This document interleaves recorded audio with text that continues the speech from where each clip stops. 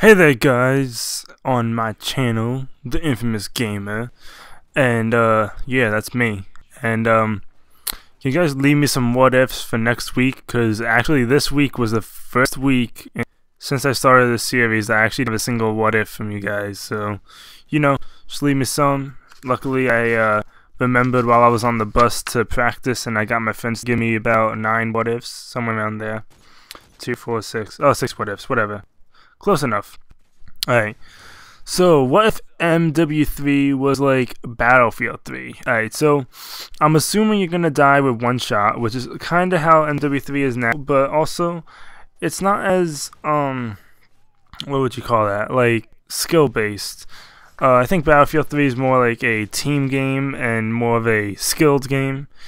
And um, I think it would actually be a lot better of a game. It's like one shot death, basically with uh, any gun but a pistol. I think it's two shots in Battlefield 3. And also there will be no like last chance or that BS that uh, MW3 has in it, like Dead Man's Hand. Like what? Why would you explode yourself when you're in last chance? Whatever. Whatever. All right. So, uh, what if someone punched me in the face? Alright, so my friend told me this one, and then he tried to punch me, and I like.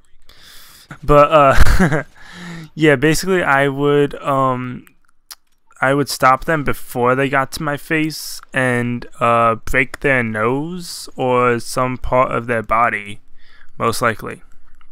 Yeah, I would probably um go for their face first, and then their balls if they are a guy, and if they're a girl, just like snap an arm or something. I don't know.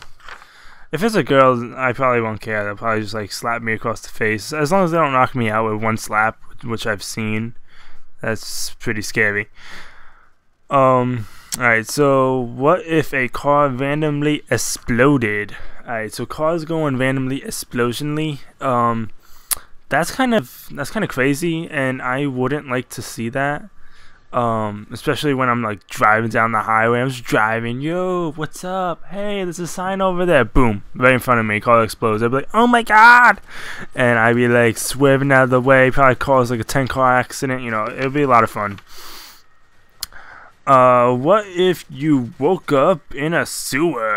Alright, so if I woke up in a sewer, I'm gonna assume I got drugged somehow, somewhere. I don't know. If I was at a bar, it was definitely slipped into my drink. If I was like just at practice, it was slipped slipped into my drink. if I was um anywhere basically, it was slipped into my drink or into my food. If I was at a restaurant and um I just end up in a sewer. As long as there's no rats by me that are like four feet big, I'm good. As long as there's no spiders that are like two feet big, I'm good. I don't really mind about that sewer stuff. I I didn't know that the game was ending this fast. I have two more what ifs. I'll do them next week for you guys. Remember, leave me a, a, a like, comment on a what if, and um, yeah. Hope you guys enjoyed this little gameplay that I had. And uh, yeah, so peace out.